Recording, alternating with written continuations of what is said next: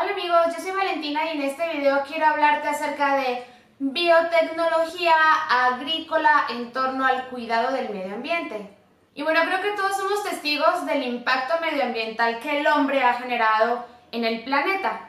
Y es precisamente la agricultura una de las industrias más contaminantes y devastadoras a nivel mundial. Sin embargo, ¿qué pasaría si ya no fuéramos capaces de generar los alimentos necesarios para todos?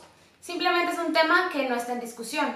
Y bueno, como todos sabemos, y ya se los he comentado, eh, a la hora de producir alimentos es necesario recurrir a herramientas que nos permitan que el cultivo llegue, llegue a su fin. Entonces, durante muchísimos años hemos utilizado agentes químicos y pesticidas.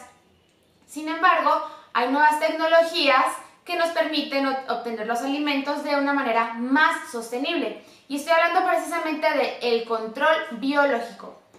Pero, ¿qué es el control biológico? Bueno, precisamente el control biológico se trata de utilizar la naturaleza a nuestro favor. ¿Y a qué te refieres con utilizar la naturaleza a nuestro favor, Valentina? Bueno, me, me refiero precisamente a utilizar insectos, bacterias, hongos, virus y nematodos para contrarrestar el impacto que las plagas y enfermedades generan en nuestros alimentos. Y bueno, una de las grandes ventajas de utilizar agentes de control biológico es que estos se establecen, a diferencia de los agroquímicos que ciclo con ciclo tenemos que seguir utilizando y no solo contaminan, sino que con los años se vuelven cada vez menos eficientes porque los insectos y las diferentes plagas generan resistencia, es decir, que cada 10 años tenemos que sacar nuevas cosas y nuevos productos a la venta para que eh, podamos obtener nuestros alimentos.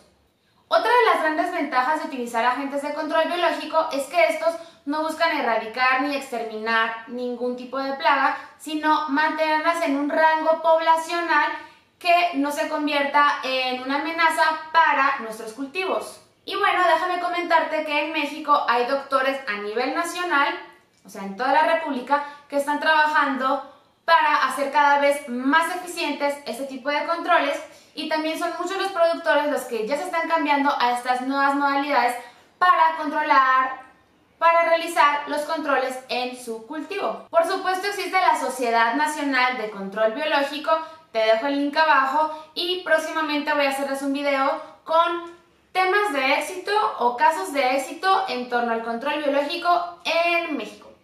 Y bueno, espero que te haya gustado mucho este video y nos vemos en la próxima.